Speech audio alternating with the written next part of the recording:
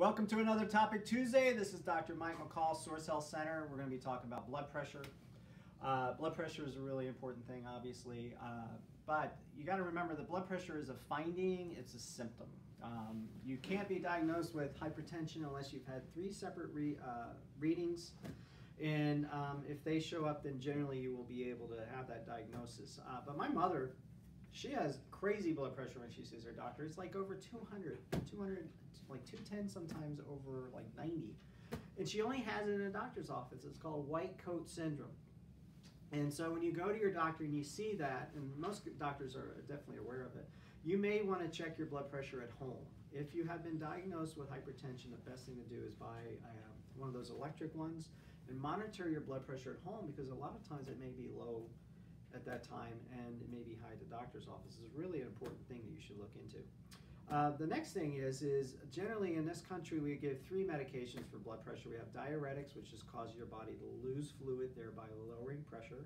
We have calcium channel blockers, and what they do is they, um, well, what happens is your muscles need calcium in order to contract. If you can block that, then the muscles don't contract, therefore they're weakened.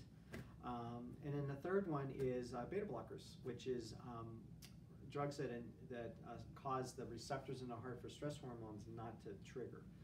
And those three, those three things will tell you a lot about a patient. Uh, if it's a calcium channel blocker, they may be deficient in magnesium because you need magnesium to help balance the calcium. If it's a beta blocker, they're under a lot of stress. And our bodies are stressed by changes in temperature, biochemical things we're eating, things we're not eating that we should be eating. And um, it could be from physical pain, and it can also be from uh, mental, emotional stress.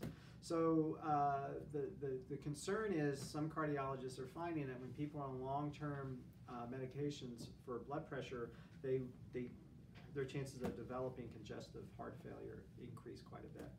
So what you want to do is what can you do to figure out why your blood pressure is high? That's really where you want to be able to do instead of just trying to lower it.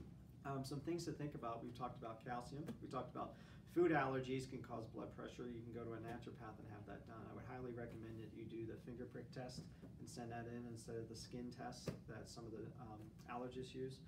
Um, also consider uh, acupuncture, massage, um, exercise you enjoy. Don't do exercise because you think it's going to keep me from dying. Exercise that you actually enjoy would be a good start.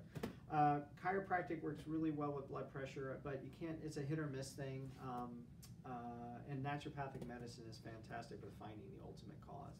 So uh, you have more cards in your deck than you imagine. If you're happy on your meds, then great. Um, but if you're looking for um, other ways of looking out there, the information's out there. I'd highly recommend that you research it.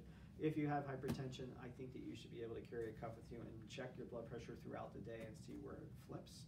That's highly uh, important, and your physician would love to have that information. And so then we will continue our heart month of February, and uh, we look forward to seeing you next week.